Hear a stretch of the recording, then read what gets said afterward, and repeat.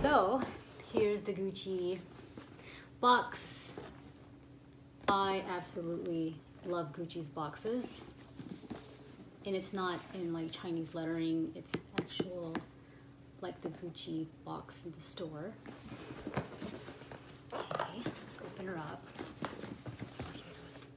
Oh, and it has little Gucci wrapping paper, which you open ever so gently, and comes with a, a dust bag. Here's the dust bag. Let's move on. And here are the shoes. I've been waiting for these. I've been wanting these forever. So, I don't know if any of you know about this, but, but, I've wanted these for a while.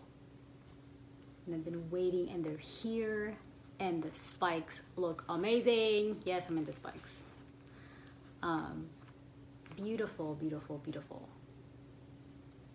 Now we should like, again, do a authenticity check with my other authentic piece. I'll be back. Okay, I'm back.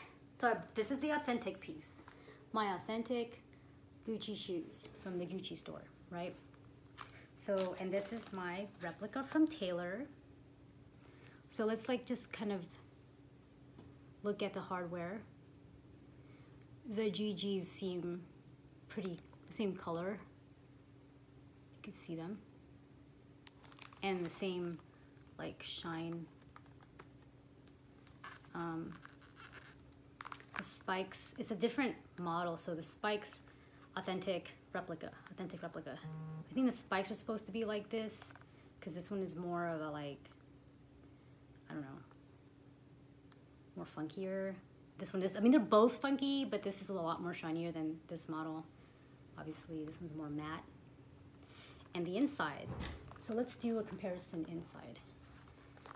So they're authentic here and the replica there. I'm gonna look at the sign inside. Authentic, replica. Okay. I can't see it.